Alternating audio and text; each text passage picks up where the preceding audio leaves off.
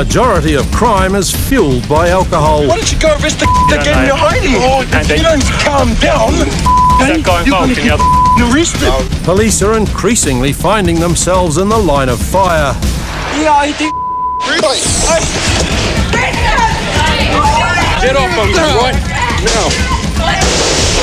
Cleaning up after drunks. A huge amount of the work police do every day. From out of nowhere, this guy walks from our left and slits me in the neck. The New Zealand police deal with it all. Drinking and driving. You've been drinking tonight? Um, I've had about eight beers. Do you think you should have been driving? Yeah, You do? yeah. I'm drunk as a mother.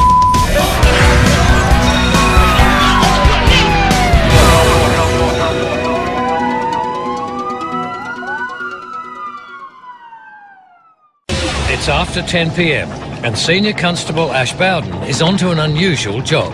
Just up in Carrum Downs, we're looking for a car that was doing burnouts, and then another call's come through saying that um, a similar looking car or very similar description has crashed.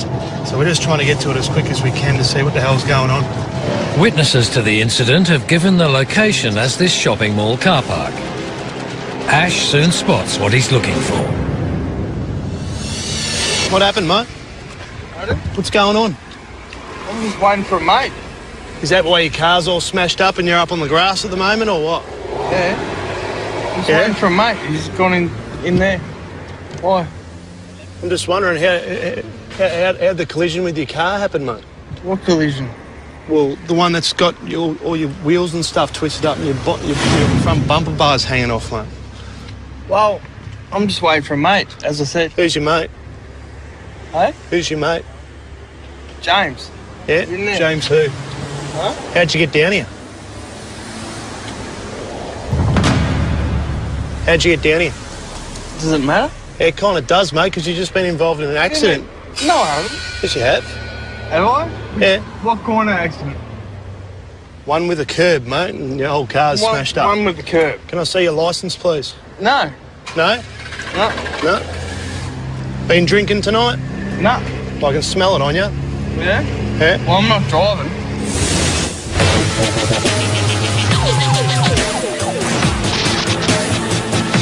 Yeah? Yeah? Well, I'm not driving. That's fine, mate. Your car's been involved in an accident. I believe you were you were an occupant of the car. Oh, I haven't even. All right. So what I'll get you to do, because because of the fact you don't want to show me your license, get you to stand out of the car for me, please. Senior Constable Ash Bowden has found a young man in a damaged car. It's run onto a garden in a car park, but the driver reckons it's nothing out of the ordinary. Hop out of the car now. Out of the car now. Yeah. Or get your license out. Make a decision.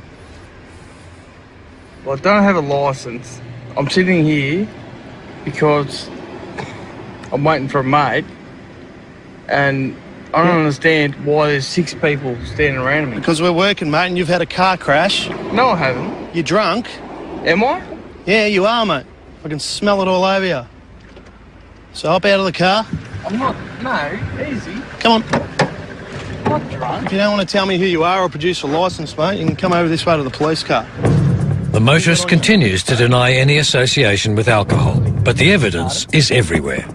Over this way, mate. No, Over to the don't police go pushing me around. Or come over this way. I'm not being argumentative with you. I'm just asking I you to do a said, few things. I have nothing on me. Right. Who owns the car? I don't know. Well, what's your name? Let's start with that. James. What's your last name, James? But Ash knows he's now being lied to, because the driver has already told him James is the name of his alleged friend.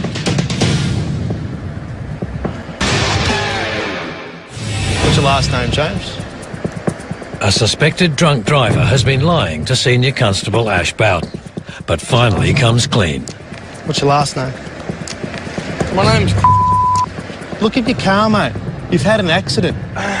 It's No. blatantly obvious. I obvious. pulled it back because there was like 20 people around there before.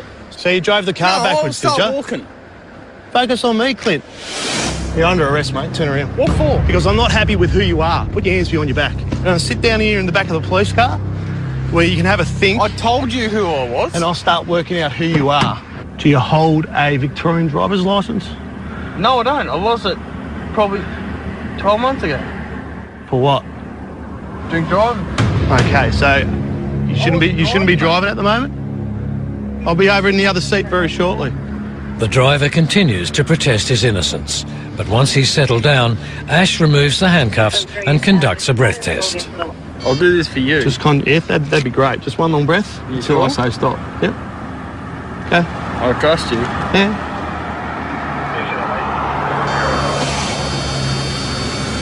Stop.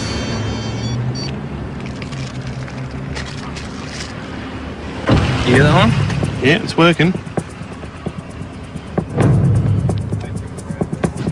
All right, Clint. Still doesn't mean I was driving. In my opinion, due to the fact that I can obviously smell alcohol on you, Yes? you've been driving the vehicle, and you've been involved in the collision. driven a vehicle. Okay, I now request you to accompany me to a police station for the purpose of the I breath have test. not driven a vehicle. Hey, Listen, you got to listen to me, okay? It's very important, all right? Now request you to accompany me to a police station for an evidential breath test, okay?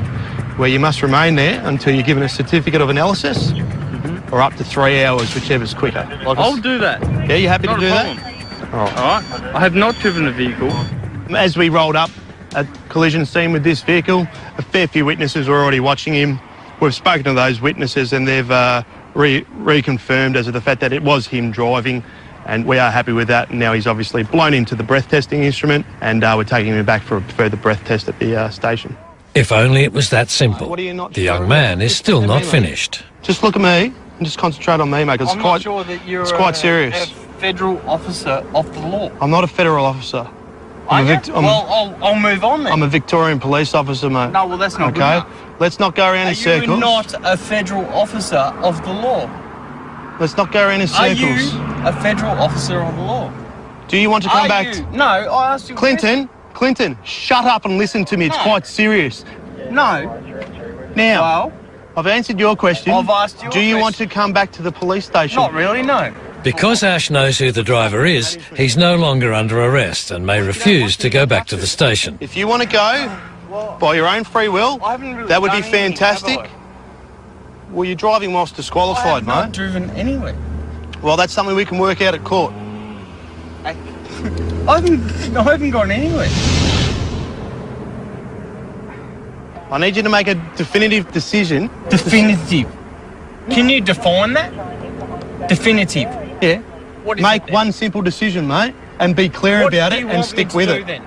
No, it's about what you want to do. Let's go. You happy to go now? I'll go. You're not going to change your mind? Do you want me to go there for a breath test? I'll go.